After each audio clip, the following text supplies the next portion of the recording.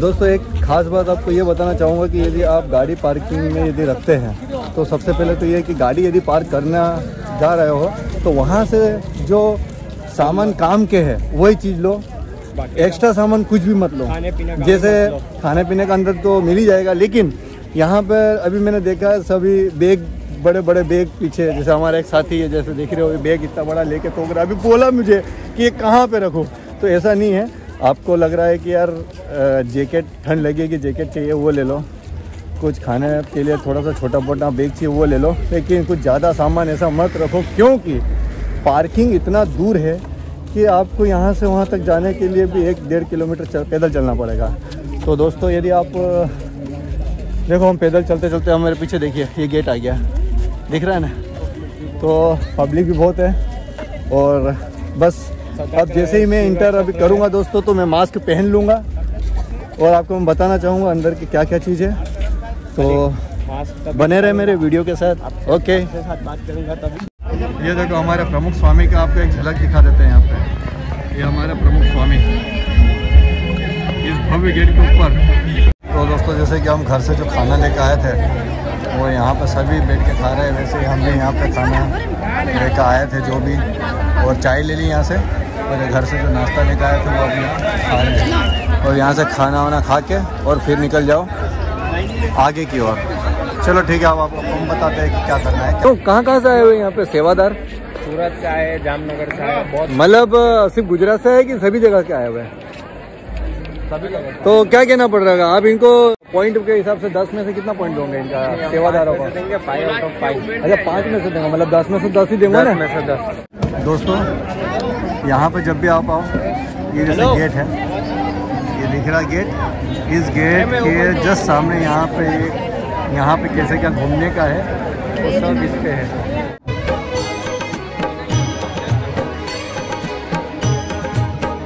स्वामी नारायण नारायण हरि हरि દોસ્તો यहाँ पे दिव्यांग અને વૃદ્ધો માટે નિઃશુલ્ક शटल व्यवस्था है मतलब ये बहुत बड़ी अच्छी व्यवस्था है यहाँ पे कि जिनको यदि कुछ भी प्रॉब्लम आती, चलने वलने की दिक्कत आती है तो उनके लिए बहुत बढ़िया और अच्छी व्यवस्था कर दी गई है। और ये यहाँ पे जितने भी वॉलेंटियर जो जितने भी ये सब सेवादार है, ये मुझे तो लग रहा है हर राज्य से यहाँ पे सेवादार आए होंगे, जो प्रमुख स्वामी से जुड़े हैं। हम सेवा देंगे, हम से जा रहे हैं और लोगों को सेवा देने का मौका भी नहीं मिल रहा है। क्यों? क्योंकि सेवा देने वाले इतने हैं कि लोगों लोगों ने बोला कि हमें दस दिन सेवा देना, पंद्रह दिन सेवा देना है, एक महीना सेवा देना लेकिन जो जितना बोल रहा है उससे आधे दिनों का ही सेवा का मौका देने का मौका मिल रहा है। दोस्तों, देखो ये प्रवेश एंट्री ये बाल नगरी में हम जहाँ गए, वहाँ प्रवेश एंट्री और देखो यहाँ पे लिखा हुआ फुल।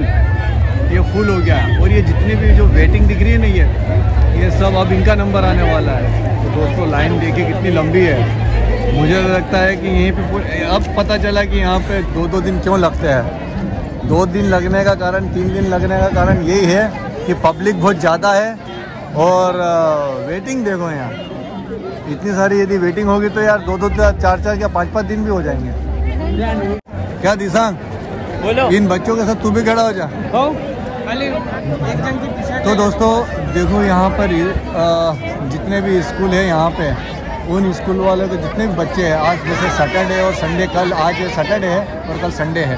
तो इन दो दिनों में आपको मेरे हिसाब से यहाँ पे बच्चे ज़्यादा दिखेंगे क्योंकि यहाँ पे यहाँ पे क्या होता है सभी जगह जैसे छुट्टी होगी और यहाँ पे खासकर गुजरात में तो ज़्यादा ही होगा इसका महत्व जो कि महोत्सव का है।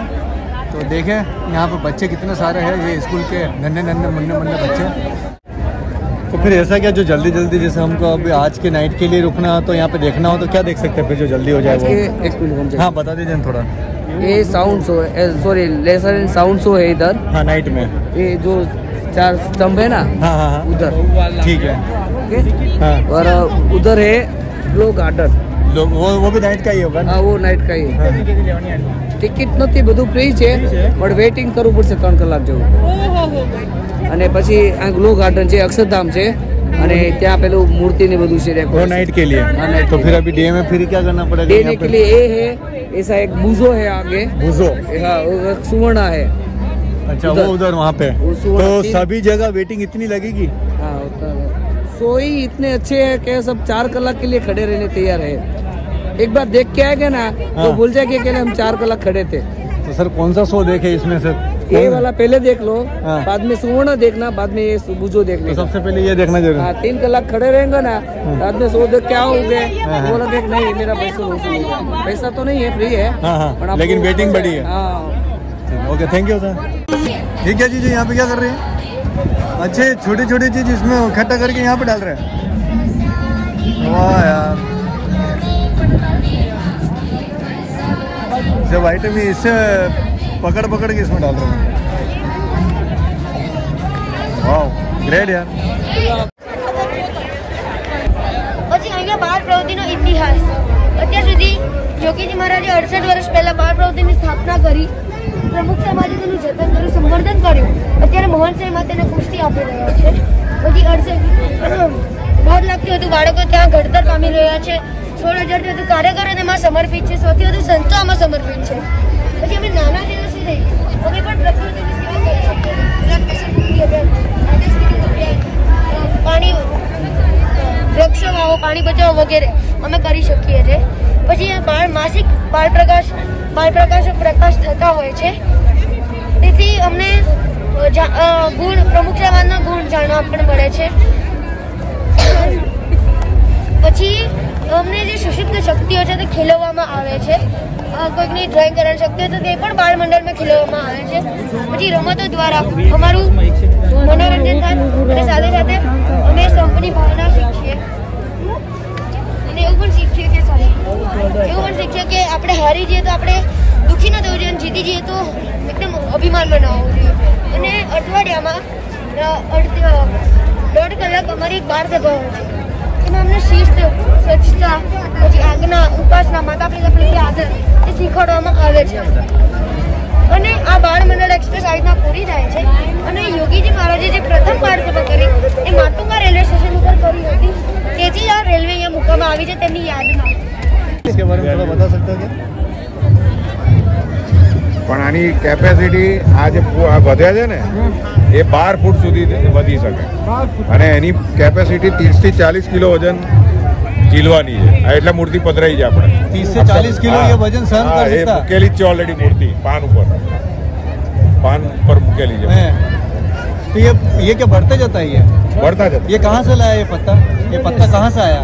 ये अमेरिका से इसका बीज लाके इधर संतों ने बनाया ये यहीं पे है? एग्रीकल्चर के जो है ना? यहीं पे हाँ इधर ही किया इधर ही अच्छा बीज अमेरिका से लेकर आए हाँ लेके हाँ कमल है? कमल। है राज कमल बोलते हैं राजकमल नाम है। और इसको विक्टोरिया एमेजोनी का बोलते हैं। हिलता टच नहीं करना। नहीं इसमें क्या है टच करने से इसकी किनारी टूट जाती है।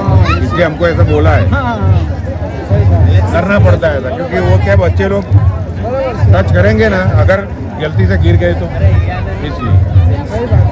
कांटे भी लगे हुए हैं इसमें। कांटे हैं ना इससे तो मछली भी उसको छू नहीं सकती। ये ना कांटे भी लगे हुए हैं यहाँ पे। मछली भी नहीं दुखते देखो। वो लिखा है वहाँ पे डिटेल सब। वहाँ पे दूसरा बोर्ड है ना ऐसा।